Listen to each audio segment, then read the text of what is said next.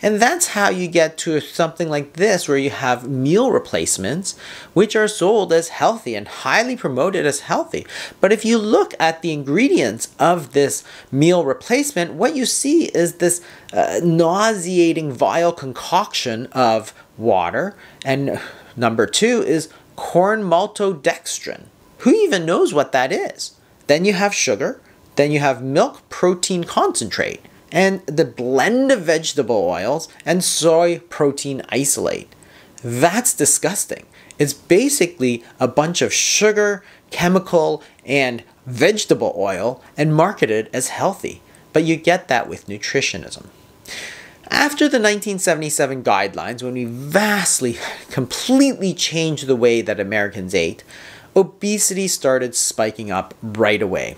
So you can see that obesity was already rising before that, but the rate at which it was rising clearly increased after this massive change in nutritional advice. And a new study uh, shed some light on this, and this is published in the British Medical Journal in 2023. And it was called The Association Between Changes in Carbohydrate Intake and Weight Changes. And this is a simply massive study coming out of Harvard Medical School. Uh, Dr. Ludwig, Dr. Willett are key participants. They had several huge databases in the Nurses Health Study 1, the Nurses Health Study 2, and the Health Professional Follow Up Study. And this was 136,000. 1,432 participants followed for 24 to 28 years. And what they did was they tried to correlate the foods that they ate and how much weight they subsequently gained. So it was a prospective cohort trial.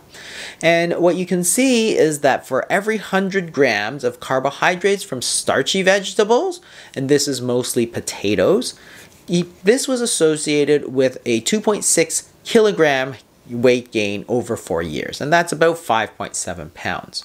For starches, things more like rice, it's about 3.3 pounds. For sugar, 2 pounds.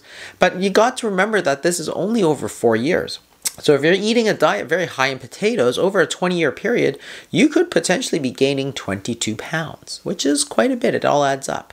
But there were also some foods that tended to make uh, you lose weight or was associated with weight loss.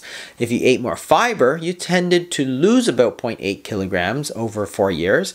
And if you ate a lot of uh, carbohydrates from non-starchy vegetables, and this, this is like leafy greens and spinach and cabbage and those sorts of things, then you tend tended to lose 3 kilograms over 4 years. And they also looked at the changes in the diet. So in this graph, for example, if you're eating more starch, you gain more weight. They divided uh, the groups into, into fifths. So group one has the least, group five has the most. And you can see in, in, in, in this particular grouping that the, for one uh, particular uh, fiber intake, the more starch you ate, the more weight you gained. And if you look across the groups for one uh, particular uh, amount of starch, the more fiber you ate, the less weight you gained. And, and, and maybe you might even uh, lose weight because if you ate uh, much less starch, and much more fiber over time, you tend to lose weight. And the same tends to hold true for sugar as well. And this aligns very closely to uh, the carbohydrate insulin model of weight gain, which says that